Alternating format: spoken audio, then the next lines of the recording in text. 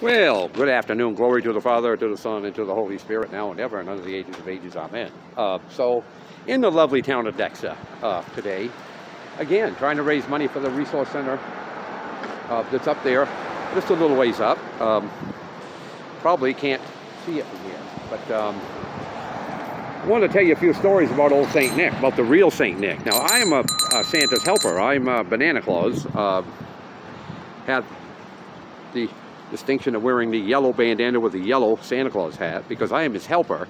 Um, how shall I say? Um, that St. Nick was a real person. He was the Bishop of Myra, St. Nicholas of Myra.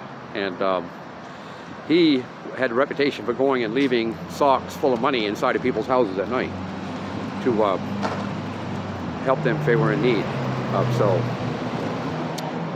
where the, we have this uh, thing, we, he would put money inside of a sock and drape it on the inside of the window. Here we have it hanging on a chimney of a fireplace. So um, anyway, um, so that's really part of how the tradition came in, was uh, that St. Nicholas would go around leaving money in poor people's houses at night. I guess it's where the tradition of him coming down the chimney, because I said probably in the state of Maine you'd have quite a problem because uh, a lot of people around now have pellet stoves. So could you imagine Santa trying to get down through a three inch flue pipe and then he gets down inside of the pellet stove. And there's an auger in there that feeds the pellets to the flame in there. So that's kind of perilous, I would say. So glory to the Father, to the Son, to the Holy Spirit.